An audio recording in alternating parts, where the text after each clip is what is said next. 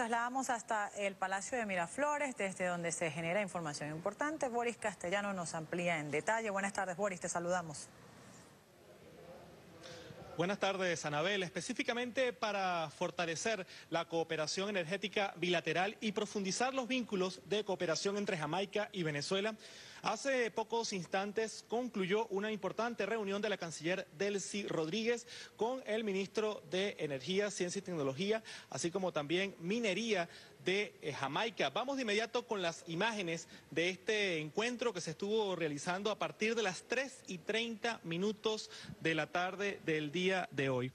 Los objetivos de esta reunión eh, fueron precisamente avanzar con Philip Powell, ministro de Ciencia, Tecnología, Minería y Energía de Jamaica, en la cooperación energética entre ambos países, sobre todo tomando como marco de referencia Petrocaribe, organismo que fue fundado en el año 2005 por el comandante Hugo Chávez Frías y de los cuales Jamaica y Venezuela son miembros fundadores.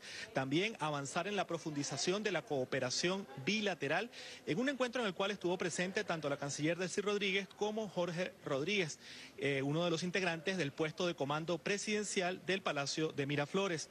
Sobre la cooperación entre ambos países, es importante destacar que el pasado 24 de septiembre, Sharon Weber, embajadora de Jamaica en Venezuela, señaló mediante un comunicado la intención de ampliar la inversión en nuestro país en el área de turismo y de comercio, algo que fue también analizado precisamente en este encuentro que tuvo lugar en el Palacio de Miraflores a partir de las 3 y 30 minutos de la tarde.